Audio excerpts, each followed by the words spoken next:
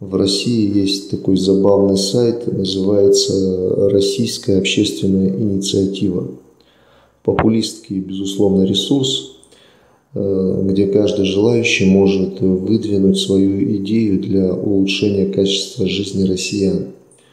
Но, с другой стороны, данный интернет-ресурс был создан во исполнение указа президента Российской Федерации от 4 э, марта 2013 года указ за номером 183 о рассмотрении общественных инициатив, направленных гражданами Российской Федерации с использованием интернет-ресурса «Российская общественная инициатива». Э, то есть данный сайт был создан по прямому указанию Путина.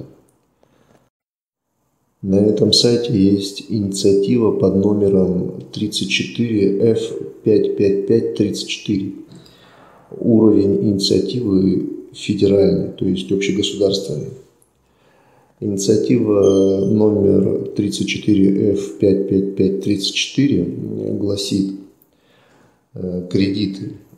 В Казахстане при вступлении на пост президента населению списали все долги по кредитам, о чем наши СМИ молчат.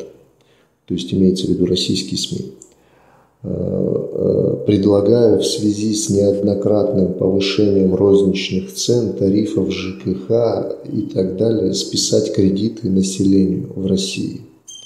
Конец цитаты. Кто автор инициативы на сайте Российской общественной инициативы не видно. Но для авторизации на этом сайте необходимо пройти логин и пароль через систему государственных услуг России. Э, то есть э, данный автор подтвердил свое гражданство паспортными данными и можно не сомневаться э, в его реальности. Активность голосования достаточно высока. За два дня за данную инициативу было подано 159 голосов за и 131 голос против.